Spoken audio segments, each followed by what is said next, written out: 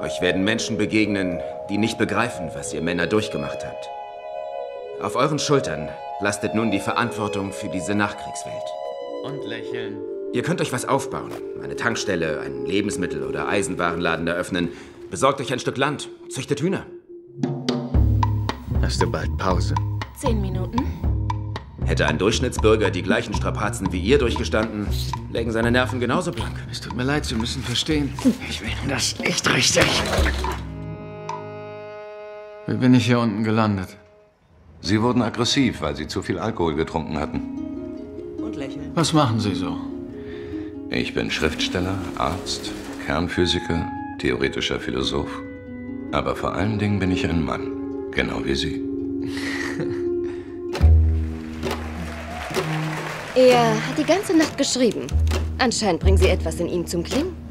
Das, was ich jetzt vorhabe, wird dich dazu bringen, dich in einer Gruppe zurechtzufinden. Gesellschaft oder Familie.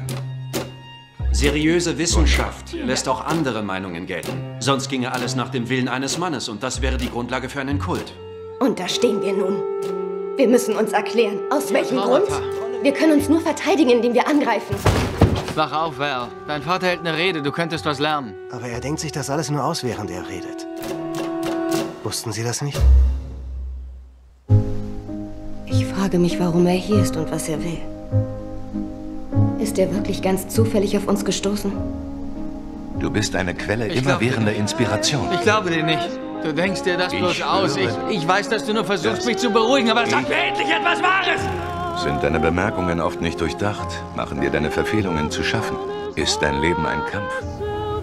Bist du oft unkontrolliert? Wovor läufst du weg? Er ist gefährlich.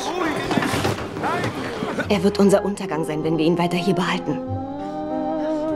Wenn wir ihm nicht helfen, dann sind wir es, die versagt haben. Vielleicht kommt jede Hilfe zu spät. Oder er ist verrückt.